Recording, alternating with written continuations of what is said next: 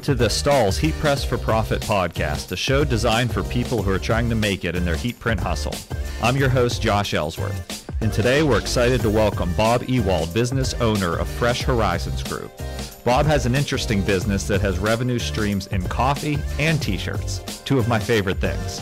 Fresh Horizons Group is having a ribbon cutting tomorrow to open the doors of a new location, so it's a perfect time for us to hop on the line to talk about his business. Bob, it's great to have you on the show. Can you spend a minute or two telling our listeners a little bit about yourself and your business? Sure. Uh, thanks for the opportunity to be on here with you, Josh. Um, so I'm a I'm a 20 year uh, entrepreneurial junkie, if you will. I've owned companies for for 20 years, um, and recently got into the the custom apparel and promo industry. Um, and as you alluded to, that started or stemmed from uh, a coffee company that we have uh, as well. Uh, that company was uh, was originally founded to uh, do fundraising for nonprofits in our local area, and we had a we had a couple of them come to us and say, "Hey, this is doing really well. Can you do a T-shirt fundraiser for us as well?" And being a serial entrepreneur, I said, "Sure, let's uh, let's do it." And uh, jumped in with both feet. And one thing led to another, and uh, out of out of a couple of iterations of that, uh, Fresh Horizons Group was birthed, and it's now a uh, it's a it's a standalone company that uh, is a custom apparel, wide format printing, and uh, promo company. Excellent. And um, I guess for, for the benefit of our uh, listeners, I'd like to give you all a quick overview of the show. So, the format of this is simple. Bob and I are going to talk. We like to host casual conversations with apparel decorators like Bob, trade ideas, talk through successes and challenges, um, all while allowing you to be the fly on the wall. So, uh, with that in mind, Bob, uh, how long has the t shirt side of the business been open? We launched that uh, January 1st of 2019, so nine months. Nine months. Okay, excellent. And uh, so, uh, do I understand correctly? Like with the ribbon cutting, you're just moving into a, a retail space? Correct. Yeah, we uh, we moved it out of our home um, here about four months ago into a super small office. We rapidly outgrew that. When we brought in uh, the the new wide format printer, it really maxed out the office space there. Um, and fortunately, literally two doors over uh, from where our original space was was the new space, and we so we're acclimated here now, and uh, thought it was a, we kind of understand a few of our systems and a few of our processes pretty well, and thought it would be a great opportunity to uh, to do the ribbon cutting with a couple of local chambers of commerce. Great, yeah, and that's a great way to uh, generate a buzz and really announce yourself in the community. So, uh, talk to me a little bit about uh, nine months in. Uh, that's pretty early in the process uh, to invest in a wide format printer, but I know you're an experienced entrepreneur. So, what were the uh, criteria or the business uh, decisions that drove you into making that investment so soon? Yeah, that's a that's a great question. Um, so we started off with uh, with a couple of Sawgrass uh, uh, printers and um, a, a, vinyl cutter, and we when we started to look at like how can we expand this uh, and and offer a lot of different things with with a, a limited amount of an investment. And I know wide format printers are expensive, but in the grand scheme of things, they're it's an affordable investment considering what it can do. So that was the big deci- decision. Um, there is when we look because we looked at like DTG machines, embroidery machines, uh, screen print equipment. Um, and we settled on the wide format printer because it gave us the greatest ability to offer many different things to our clients, whether it's printing on Stahl's HTV products or uh, or you know running a banner, um, printing some stickers, car decals. It really gave us a very wide uh, wide breadth of, of offerings that we could that we could bring into the company with the a similar investment to any one of the other processes I had mentioned. Good, good. And so, uh, from a uh, metric standpoint, with kind of what you're measuring, I, I would assume, and this may be incorrect, but I would assume that you're focused on increasing the uh, number of items you can sell to a particular customer. So rather than just selling them more T-shirts, being able to uh, be more of a one-stop shop and a complete solution for them. Would that be accurate? Yeah, that's that's hundred percent accurate. Good. So making more uh, I guess, higher value uh, current customers, of course, focused on new customer expansion, but the easiest uh, folks to sell to are people that already trust you and do business with you. So that's that's great. Um, now, are you leveraging all of these products um, still in a fundraising uh, context, like you imagined at first? What really drove you into the business?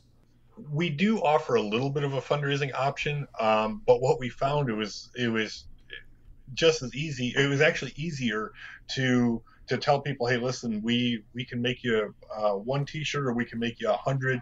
If you need pens, we can do that. If you need a banner, we can do that. And it really opened up our market, where before we were primarily targeting the nonprofits and local organizations that wanted to do to do fundraising. So by by kind of taking that veil down and still having it available, it opened us up to a lot of other opportunities. Good, good. And how are you uh, attracting customers? How how do you sell today? Do you have salespeople or uh, mainly attracting them through marketing? Uh, a little bit of both. Um, so we were using uh, social media quite a bit, um, and then I, I myself and one other person are um, are out as outside salespeople as well. So um, it, it's for us being 20 years of of being in the community already with other companies I own um, there's a lot of lot of contacts that are already available. So it's it's a fairly warm conversation. Um, but wanting to wanting to expand beyond that is why we joined the chambers of commerce and uh, are starting to do more outside marketing, whether it be some uh, some social media through Facebook, Instagram, and a little bit of Google. Um, Google has been has proven to be quite expensive, but um, we are seeing some traffic from it.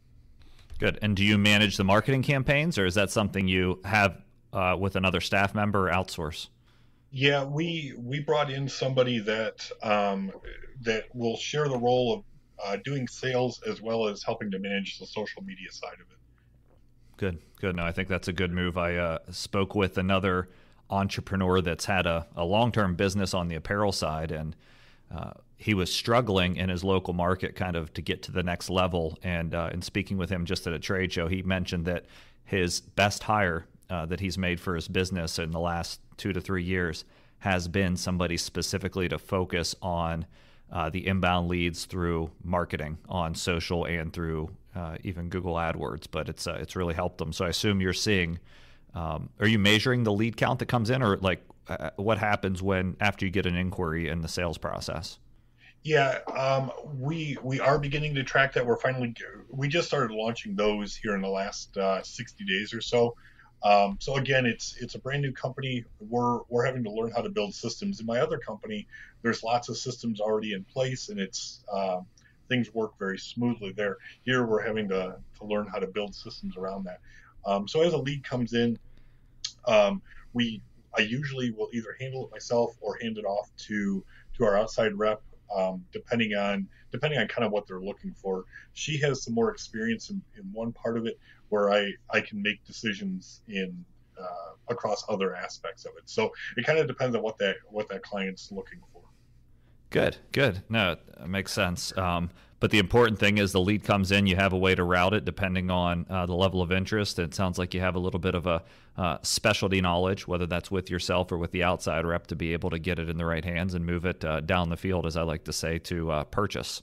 Absolutely. Uh, I, I, think one of the things that we try to do um, is respond right away.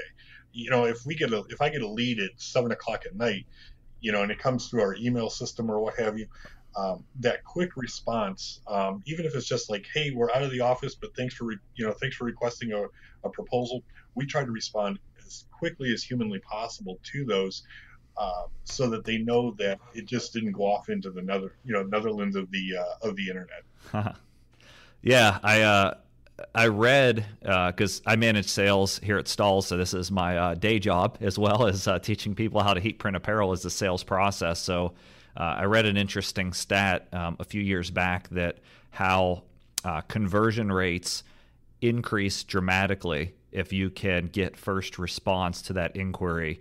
Uh, really, within uh, they they did it if driv- driving it down all the way from a minute standpoint to hours to days and then beyond, and the uh, conversion rates increase dramatically if you're quick to respond. Because odds are, if they're if they have a request for a proposal or a job, maybe they're shooting that out to two or three potential decorators at once. So it's uh, speed is the name of the game. Absolutely, and we found over the years that that that quick response, eh, they're they're ready to buy. Usually, by the time they're they're they're sending a request in in their mind, they're ready to buy. So if you can hop in while they're still actively in in buying mode in their mind, you uh, you can form that relationship and, and move them through the sales process fairly quickly. Yeah, and so um, I know that when we did uh, some of the pre-show uh, exchange back and forth, you mentioned uh, wanting to go deep on sales. So I assume, like when you measure the success of the company, uh, one of the key metrics for you is top-line sales growth. What other um, things are you measuring uh, from a success standpoint? You know, that's a that's a great question, and the honest answer is we're not measuring things very well yet. Um, I don't I don't have a have a clearly defined answer for that. That's all right. So, uh, do you measure? Uh, I assume top line sales uh, month to month, and and uh, kind of track against that, or or how do, how does that look for you? Yes, uh, we do track that. Um, we're we're constantly watching. I, I, guess we you know we look at the amount of leads coming in, uh, and, and, then uh, what that's equating to in in sales at the you know on the other side of it. Um, we just we don't have real well defined metrics on either you know like uh, conversion ratios and things like that just yet. Um, we can I can tell you that uh, when you have a good relationship with somebody or you can build rapport, we seem to close more of those. But again, we're dealing with a lot of warm leads at this point still. Yeah, that's that's a good uh, good problem to have is to be dealing with warm leads. especially because uh, you're bringing connections to it, as you mentioned earlier, and that makes a big difference. So, if I could give you uh, one recommendation, you can go crazy and really overanalyze, but uh, definitely um, a very uh, simple CRM or even a process um, to be able to manage uh, leads in and then uh, really conversion rates will help you to get in front of the actual revenue number, and and you'll start to really know, especially as you start to add salespeople and scale the business. If we have um, this salesperson uh, converting 50% from every inquiry, and then really documenting the reasons why you're winning and the reasons why you're losing, uh, that's one of the most valuable things for me. Is so we can even adapt our offer uh, to be able to service customers better. So I would I would highly recommend that uh, as, as a next step from a process standpoint for your business. That's awesome. I, I really appreciate it. Do you have any specific CRMs that you're you're fond of that you feel fit well within this industry? Uh, there are a variety of solutions that are out there. Um, my absolute favorite is Salesforce, but it tends to get expensive uh, on a per seat license basis as you grow. So that would be my uh, that would be my optimal solution would be Salesforce. Uh, here at Stahls' we've actually uh, been through a few of them, and we ended up uh, building our own. But I know that's not um, uh, an option uh, for everybody. So I know Zoho is one that's fairly inexpensive online, so that might be a great way to get started. And I know they even do like a free trial period so you can test it. So that's zoho.com. I'd probably recommend starting there, and as you get a little bit more uh, detailed and scientific about the process, you may want to look at Salesforce. From my other company, I am familiar with uh, Salesforce. I, I, totally agree that is uh, that's an expensive pro- product, but uh, um, extremely extremely versatile and, and scalable as well. Yeah, yeah. So uh, I guess talk to me a little bit about um, some of the other questions um, or challenges that you think you're facing in your business you, that you want to uh, unpack a little bit with me today. Uh, anything else that comes to mind? Yeah, you know, I think one of the one of the biggest challenges that we've had because we jumped in, uh, you know, nine, uh, ten months ago. I didn't know anything. I didn't know Corel. I didn't know um, anything. I knew how to sell, um, and and so that you know that gives you, gives you a little bit of uh, uncanny confidence. If you're if you're a natural salesperson, you know um, that that worked well but having to learn the processes um, and in building building all those systems that's that's been a huge challenge. Um, and i think the other part is is figuring out ways with with low revenue to be able to hand stuff off um, and and find people that you can bring into the team to you know to be able to spread some of that um, that those are some of the big challenges. Learning all the processes, learning you know whether it be heat printing, running the wide format printer, doing sublimation, um, that that in itself is is a full time job. Um, and uh, you know, so the, those are some of the probably some of the biggest challenges that that we're facing right now. Yeah, makes sense. So, uh, funny enough, and, and I'm not sure what episodes these will publish in, but the lady I spoke with uh, on our first interview, she was extremely strong uh, in graphic design, uh, and you're extremely strong in sales. And I think it's the same for any entrepreneur in person. Really, is you certainly have your strength and your skill set. I think uh, those two things, design, uh, getting good artwork, um, and then selling are probably two of the most important things uh, to the business uh, and be able to run it effectively. Um, but figuring out what what to hire for first, uh, how to simplify processes, uh, what you can delegate, especially as an entrepreneur wanting to keep your hands on a lot of it because you know it'll be done right, uh, is always a challenge. So, talk to me. I'd like to ask a couple follow up questions first. Uh, how many people are in the business right now working full time?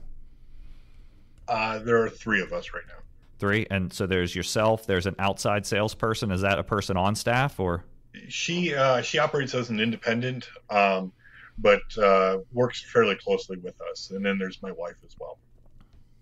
Okay, good. So that makes up the three. And then uh, your wife's uh, role in the business is uh, she handling. Uh, you guys basically split duties, or does she have a specific task compared to what you focus on?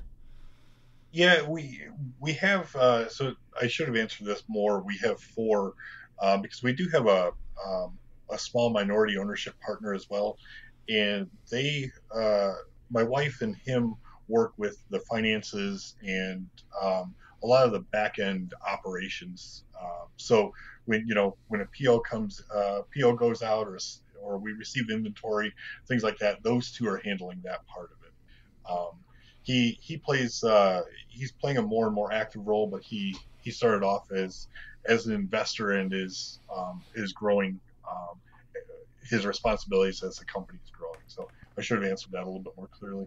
No, that's all right. And and what do you spend the majority of your time on? Like, what's a day in the life for you? Most of it is is sales. Um, I do some of the design work um, as well, uh, but it's it's just uh, you know con- connecting with uh, either existing clients or or new clients, um, and then following up on leads um, and just kind of overseeing that part of it, uh, and then coordinating with our with our outside rep is to okay, you know, this lead came in. Um, how do we want to handle this? Uh, you know, so we that's that's my overall is is primarily the sales and and design side of things. Good. Who's actually making the product? That's where the three, um, my wife, our partner and myself, we produce the we produce the product. Uh, so in in all candidness, um, with it being a small order, uh, we produce those things in house. If it's a large order, um, we found uh, an organization called ASI at uh, at the same show. We bought some of our heat presses, some of the Stahls' heat presses. Uh, we found them, so we mm-hmm. outsource if it's you know if it's a large order for something um, outside of apparel, we'll outsource that to uh, to an organization that's just more well equipped. So if it's a full sublimation shirt, um, like jerseys or something like that, we'll do that. If somebody needs 500 yard signs, we outsource that. But if somebody needs one, uh, you know, a dozen a dozen shirts with their their name on it um, or their logo or whatever, we produce those in house um, using Stahl's products and um, and the equipment that we have. Good. No, uh, makes sense. And and we're uh, members of ASI exhibited all those shows, as you know. So I think that an organization, trade organizations like that, uh, can be helpful. There's often mixed reviews on whether it's valuable to be a member or not. But I think for the company that understands uh, outsourcing and not being able to scale the business without having to do everything yourself and really uh, broaden uh, the product offering, I think uh, outsourcing is a great model because I'm guessing you're connecting uh, products that you would never be able to manufacture in house without a significant investment as well. Yeah, absolutely. I mean, like today we uh, we had a thousand balloons that we had imprinted for a client delivered. You know, I mean that's uh, you know, and it was just it's kind of cool to say, you know, when somebody comes to you with something kind of off the wall, you're like, yeah, we can do that. Um, and it really, one of my things with this company was I wanted to be able to say yes. Um, that was that was a big thing. I didn't want to li- didn't want to limit us to one specific thing. I wanted to be able to say yes and then build systems and teams around what that meant. So you know that's where we started off with doing uh, HTV on on T-shirts and some sublimation on coffee mugs, and as we found more and more demand in the market for different things, that led to the other investments, such as what we've already discussed with the wide format printer, um, and, and, then joining ASI and, and being able to say yes to, to pretty much anything that somebody wants to put their name on. Well, I mean, it sounds to me, and I know you're, and, and I commend that you're looking for all every little angle that you can improve. But I mean, from a uh, process standpoint and hitting some of the basics with being able to outsource and uh, connect uh, people to where they're talented and kind of split the uh, workload. It sounds like you're uh, well on your way. So, uh, do you feel like, um, as far as like growing the business, is it just a matter of engaging more customers? Is it being able to make product quicker? Like, what are those uh, key things that um, you need to be able to check off in order to say yes more often and have that opportunity? The answer to that is getting more opportunities in the door. Um, whatever that uh, whatever that means, whether it be a, a, real life lead or coming through our website or what what have you. Um, so more opportunities in, um, and then you know I, I did have uh, kind of a uh, take your breath away moment the other day. I walked into um, another local shop that we we outsource our embroidery to, and they're they're running uh, somewhere in the neighborhood of around a million dollars a year in volume and I walked in and I saw this immense amount of stuff going on, and I'm like, oh my gosh, what did we get into? Um, so I, I, think the other part of that is making sure that as we say yes to these things, that we quickly build systems of how that's going to be handled, um, because it, if all of a sudden we're doing, you know, a couple hundred thousand dollars a year, or we're, you know, we're getting out to those million dollar a year and beyond points, the only way that's going to be sustainable is to have good systems in place that we can teach people how to use. Um, you know, it's that that uh, you know because I, I can bring people in the door. Um, that's just my gift, um, whether it be through marketing or or face to face sales.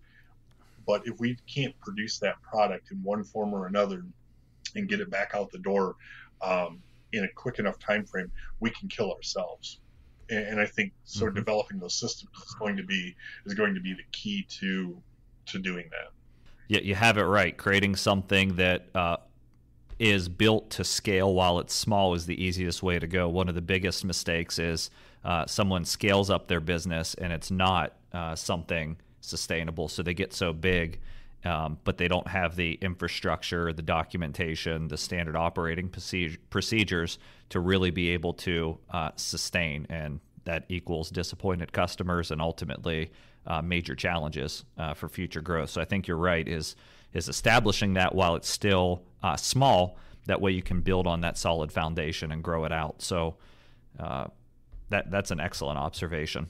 So just to to kind of go a little bit more in depth. Um, on your customer base and who it is. It sounds like you're approaching uh, your past contacts and, and pretty much anybody in the community. Are there any specific uh, markets that you're trying to uh, develop and target? Yes, uh, certainly. Right now, we're taking anything that you know, anything that's that's spending money um, that'll that'll pay the bills right now. But our our more direct focus are small to medium sized businesses um, that that need that consultative approach of how do they brand themselves. Um, being that we can offer, being able to produce, put their name on pretty much anything. Um, we we've said that we we provide that consultative approach. So these are we're looking for companies that that are just getting started that have a budget, um, but aren't so large that they're that they're already committed to working with one of the large uh, uh, one of the larger um, media agencies. So we're, we're trying to find that that sweet spot. You know, they probably already have a little bit of a logo, so we're not doing full in-house design, um, but we're able to take those things. They know you know they, they've got a couple of employees so they need multiples of things um, or and they're trying to grow so having good promotional products that can back them up um, so that's the focus is small to medium sized companies Mm-hmm. No, I think that goes along with your ability to say yes. So it reminds me of uh, really an agency approach, but at the small to medium sized level. So I think uh, you've identified a nice gap there where you can uh, really sustain a customer once you uh, once you obtain them. Um, and I think that's that's really cool. Uh, I visited a shop many years ago, and it was a huge shop. And their tagline that they said, at least internally, was "We're the world's largest mom and pop shop." And so, even as they scale, uh, they kept that idea of that they can say yes to any job, that they can maintain sort of the small, personalized, consultative approach, um, and that's why they were able to grow. Because I think the, you know, with the world of automation, you can uh, go too far and lose that personal contact. So it sounds like you're able to bring that into the process for your customers. Yeah, absolutely. The ability to to kind of hold somebody hold somebody's hand while they grow um, and be there as a resource for a long period of time is is is the idea.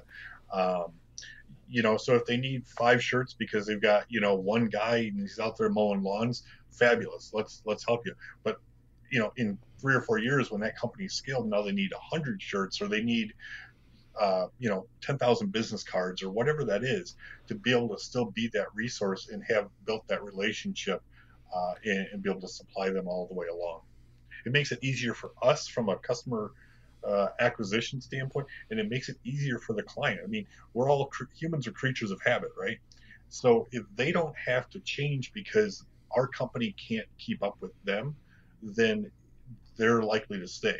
Um, and and that's that's something that that we want to try and embrace as we go forward. Excellent. Thanks for that advice. So, to our listeners, uh, you're hearing lots of great sales tips. It's clear that uh, Bob has a strong competency in sales at his company. He's doing things right from a customer acquisition standpoint, uh, building building processes, focusing on acquiring customers, and really focus on growing up customers through the business. So as uh, the customers that he's servicing grows, so the business does as well. So that's really exciting, Bob. A uh, couple other uh, things I want to talk about. One of the trends we've noticed, and, and of course we're developing product towards this end, is our apparel decoration customers, which you would fit into, uh, growing through uh, client-specific e-commerce uh, sites with popping up web stores that are focused around the customer. And I think it would be particularly uh, interesting in the fundraising space.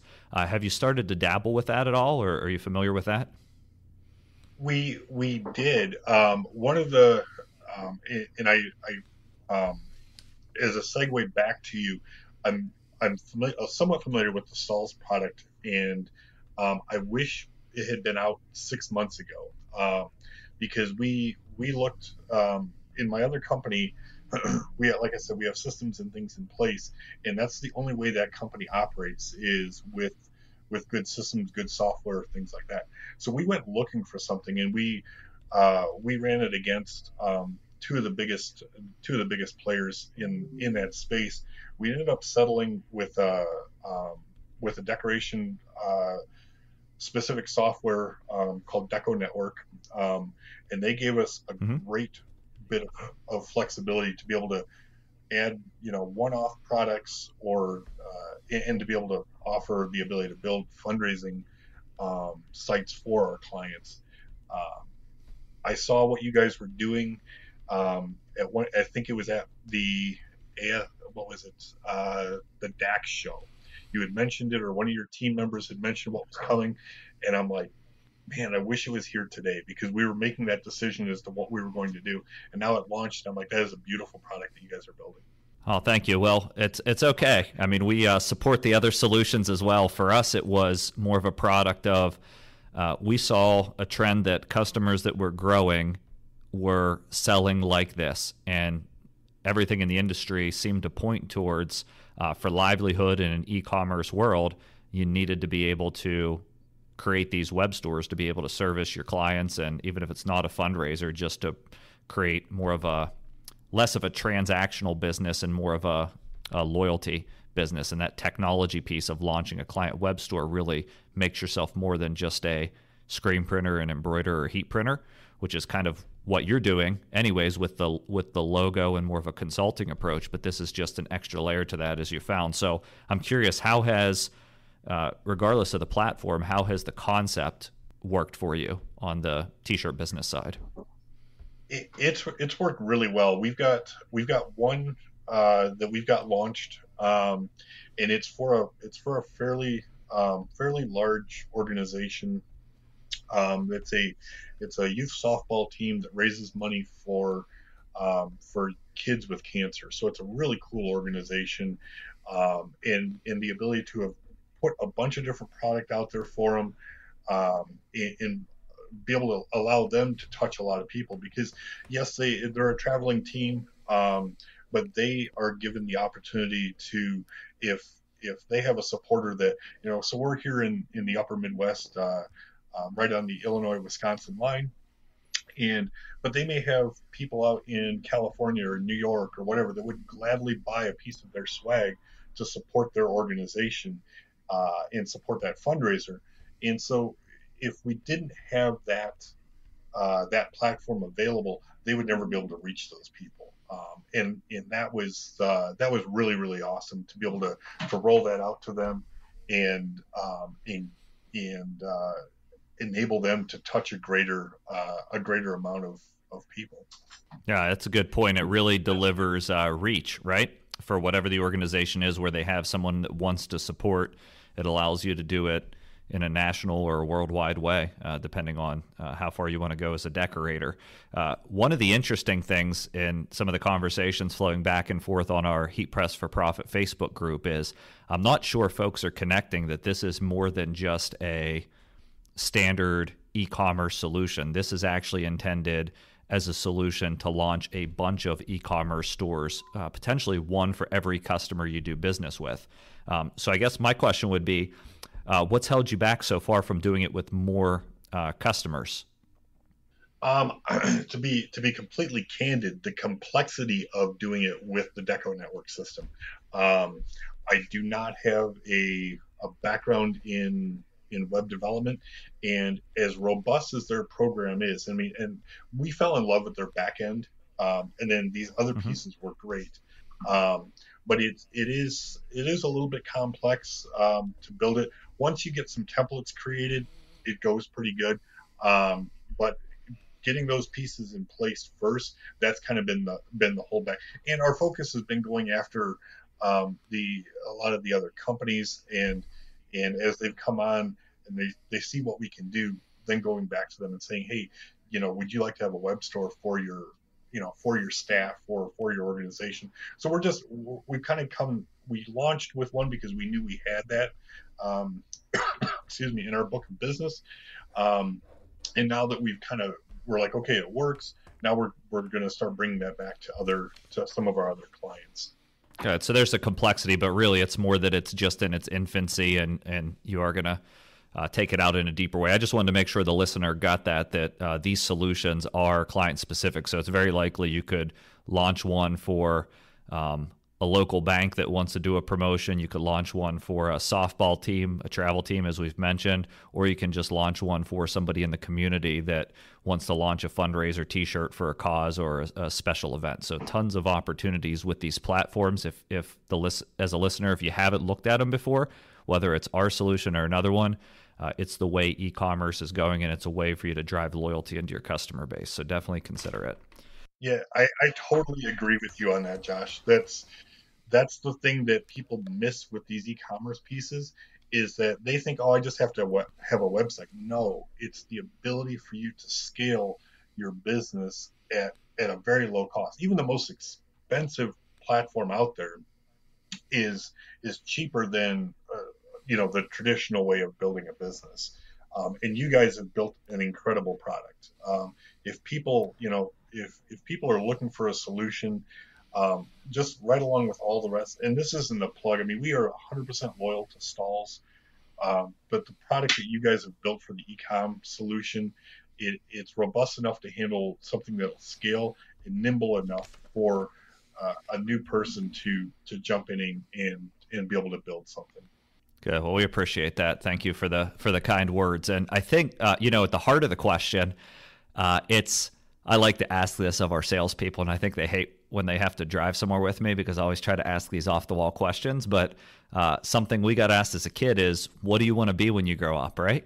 Um, and, and you think about that for your business. And if you aspire to just be a t shirt printer and you're a generalist, there's a million other people that just print t shirts and it's going to be a competitive business. But if you desire to uh, be something different, offer this extra level of service uh, to your customer, like you guys are more of a, uh, I'd say, a brand consultant with helping people upgrade their image and their logos. Now all of a sudden you're in a, a different playing field, and I think it really helps you to uh, create uh, a long-lasting business and hopefully be able to sell product at a higher price point, um, and not be viewed uh, in the red ocean, as we like to call it, with all of the other sharks swimming and fighting after the same business. So I want to uh, give you an opportunity, uh, Bob. I know we've talked through a ton of stuff, and we're coming up on conclusion time here in about five minutes or so. Um, are there any other questions, whether they're technical, process related, anything um, that you want to ask, or any advice even uh, that you want to offer to other listeners that are uh, aspiring apparel decorators or maybe existing ones? Yeah, um, I guess I guess uh, from an advice standpoint, it would be just try. Um, it's amazing what we can do um, when we when we when we believe in ourselves and just go out and try. Um, like I said, I've been a serial entrepreneur for for 20 years. I've tried a bunch of different businesses. Some have done very well. Some have failed miserably, um, and that's okay. That's all part of the journey. Um, the thing I would I would ask um, it to you is you've you've seen companies grow dramatically. I mean, you've you've been with Stahls for a long time. You've seen how they've grown what is something that um, as a company is is scaling and growing what is something that we should be on the lookout for that you've seen you know okay this was a bump in the road with Stahls, or maybe some other opportunities that you've worked on in the past? What is something that we should you know we should kind of have on our radar as we're as we're trying to grow and scale this company? Yeah that's a great question. Um, so i offer a couple uh, thoughts around it. Uh, one is uh, being agile, I think, is of critical importance in taking time to work um, on the business, not necessarily in the business, are, are, two big pieces of advice I would offer. So, what I mean is, uh, especially as a small company with a relatively uh, small number of employees, you can get very caught up in the day to day, and it's important, right? Because you got bills to pay, you have sales targets to hit, and, and those things are important. But I would say making sure that you make time uh, to get outside of the business, uh, travel to a trade show, or spend some time away from the business and really think strategically about where you're heading. So for me, that means defining the customers that you want to do business with rather than the customers that are just necessarily calling, because uh, I think you can be very intentional about the type of business that is uh, good for the company and what you want to go out and develop. And when you do that, you can create something a lot more relevant. And um, I definitely wouldn't say only focus on one customer type. You want to uh, just like good investment, diversify uh, your risk, not put all of your investment into one category because if that industry uh, has challenges, uh, you're going to have challenges as a business. So I would say uh, be specific uh, to your customer, know who it is, create specific offers and market specifically to them, but also have uh, different markets that you're serving at once. So typically, I like to recommend three to five markets uh, that you're developing uh, just to really add some safety uh, to the business and protect it and give you opportunity uh, to grow. So I think that would be one of the things I've seen where people tend to specialize. Maybe it's in sports, and I think this year, for the first time in 20 years, uh, or actually the first time ever could be, if, I, am quoting it correctly, is uh, team sports participation levels at the high school level declined year on year. So for companies in sports, that's a that's a big issue. Um, also, uh, industries like sporting goods, uh, if they get disrupted, if there's like what we're looking at right now, if there's consolidation and private equity companies coming in and buying up space and competing, uh, you don't want to be a company that's just focused on sports in today's environment. You want to uh, be able to diversify. So I'd say uh, just that. I think uh, Dale Carnegie said it. Uh, don't put all of your eggs in one basket. That's that's some great advice. I, I was taking notes as uh, as you were sharing that. I really appreciate that. It's uh, it's not very often that a, a small business owner can ask ask the head of a sales head of sales of a large corporation, "Hey, how do you do this?" So thank you for sharing. Oh, no problem. And then the other advice I'd give to any industry leaders or, or folks in our industry is uh, stay small and stay humble. Have a small mindset. Um, and make sure you're connected to the industry. I think uh, one of the things that I've challenged myself to do, and many of us at Stahls, it's our culture, is to stay connected to the customer. Uh, because without you know small businesses, without startups, even somebody buying their first heat presses, operating in a spare bedroom, uh, we don't do that well. We don't know that business. Uh, ultimately, we're not here very long. So uh, I'm excited about opportunities like this to talk with entrepreneurs like you, really understand your pains. Probably can't offer always the best answers on the spot, but it helps it helps me to learn, and I think it helps everybody listening uh, to learn and get real life advice. So that's the purpose of this Heat Press for Profit podcast. Yeah, I, I love it. It's uh, it's awesome. I think one other piece of advice I'd like to share um, because I'm on I'm on the I'm on the forum that you're talking about and, and several others, um, and that's that if you're getting into business, go out and this was some advice that was given to me over 20 years ago when I started my first my my first company. And that was go out and buy the very best equipment that you can afford even if it's a bit of a stretch. Uh, and the reason why is that it will it'll be the cheapest investment that you make because uh, talk about uh, heat presses for a second, right? So Stahls makes some great heat presses. We we own two of them. We own the, the Hotronix Fusion, uh, and we own the the Auto Clam along with your your uh, your hat press. Um, there are there are cheaper knockoff products out there that we could have probably saved half that money that we invested in and bought the the lesser quality product. But what I've learned over the years is that that that better quality product lasts longer and and ultimately saves the company money down the road. It may be a, a bigger stretch or you have to wait longer to get started, but ultimately you can make more money by having a higher quality piece of equipment. It'll have less downtime and less uh, less overall expense than buying the the cheap thing that lets you get started right away.